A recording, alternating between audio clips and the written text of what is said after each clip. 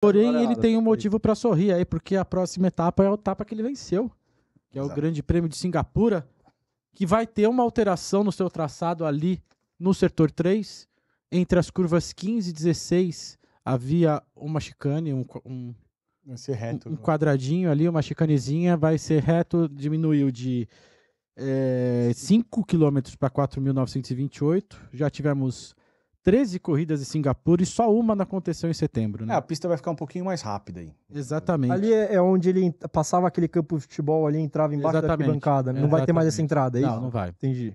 Não vai mais. Vai reto. Vai reto.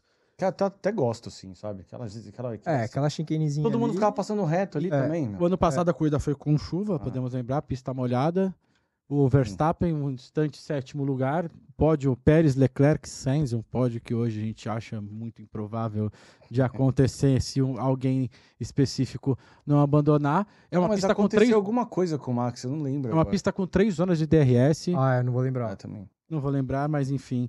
Temos também alguns números de Singapura, algumas stats aí. O Vettel era o cara de Singapura desde o começo, sempre foi o maior vencedor, maior número de pódios, maior número de voltas O lideradas. Hamilton nunca venceu. O Hamilton, o, o O Max, Max, nunca, nunca, venceu. e ele só liderou três voltas. Tudo bem, em Monza ele tinha vencido uma vez só e ele arrebentou tudo, É. né? Ou seja, chance de ele arrebentar de novo. A gente tem alguns, algumas histórias de Singapura Gostou desse vídeo? Inscreve no canal, dá o like. Valeu. né? A primeira, todo mundo sabe, 15 anos do Singapura Gate, aquilo que todos nós ouvimos, cansamos de falar.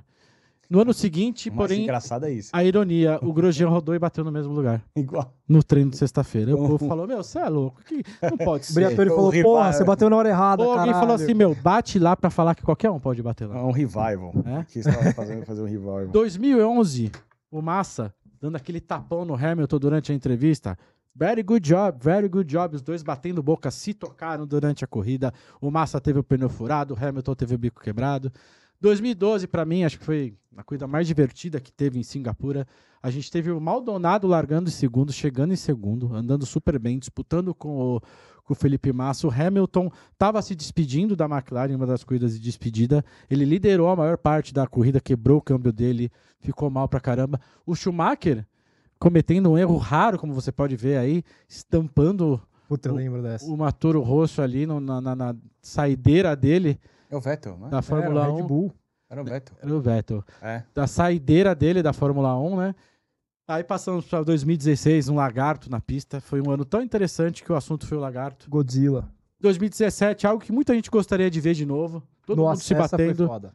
Verstappen com Vettel, com, É, com é- Raikkonen. Essa corrida foi legal. Essa foi foda, essa porrada aí, meu, eu lembro Plasticamente muito bonita, muito polêmica também, né? Foi histórica. completamente.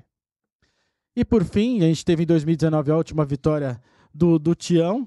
Vettel. E no ano passado, a corrida com chuvas